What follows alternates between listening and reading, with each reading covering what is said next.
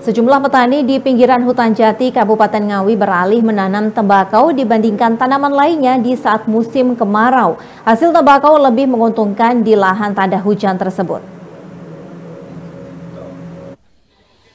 Sulitnya mendapatkan air membuat sejumlah petani di pinggiran hutan jati di Dusun Wening, Desa Gunung Sari, Kecamatan Kasreman, Kabupaten Ngawi, kini beralih menanam tembakau. Diketahui tanaman tembakau tidak memerlukan air yang banyak sehingga sangat tepat di saat musim kemarau. Seperti yang dilakukan Warsito petani desa setempat, hampir setiap tahunnya di saat musim kemarau, ia lebih memilih menanam tembakau jenis ram khas Madura karena lebih menguntungkan. Saat ini ia terus merawat tanaman tembakaunya yang baru berusia satu bulan dengan cara membersihkan rumput dan gulma agar tembakaunya tumbuh lebih baik dan bagus kualitasnya.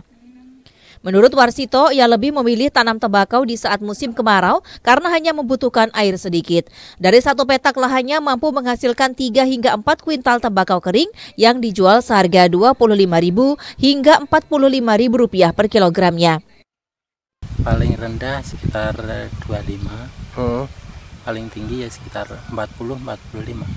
Kalau musim hujan padi. Padi ya? Ya. Kalau kemarau? Ya kemarau kalau kemarau tembakau tembakau ya hmm.